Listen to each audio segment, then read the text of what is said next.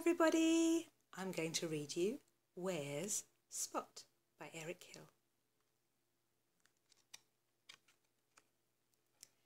Where's Spot? Naughty Spot, it's dinner time. Where can he be? Look, can you see the bowl? There's Spot's bowl with all his dinner inside. And there's Sally's bowl, that's his mummy. That's Sally. Is he behind the door? Shall we look? Let's see. Is that Spot? No, that's a bear. Oh, he's eating some honey. Where's Spot? Is he inside the clock? No, that's not Spot. It's a snake.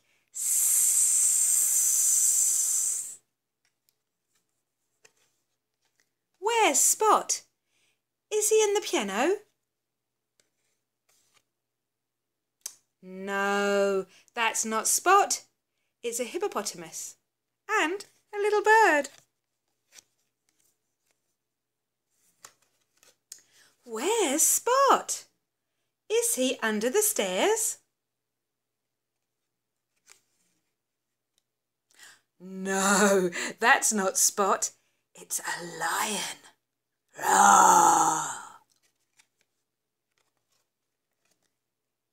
Is he in the wardrobe? No, that's not Spot. It's a monkey. And he's eating a banana. Ooh, ooh. Ah.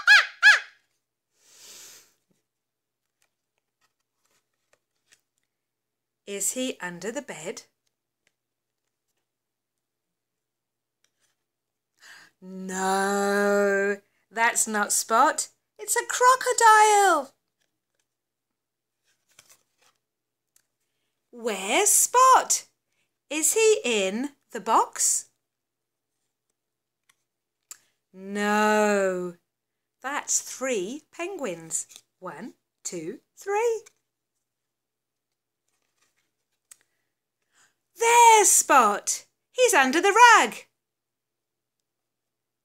Is that Spot? No, it's a tortoise. And the tortoise says, try the basket.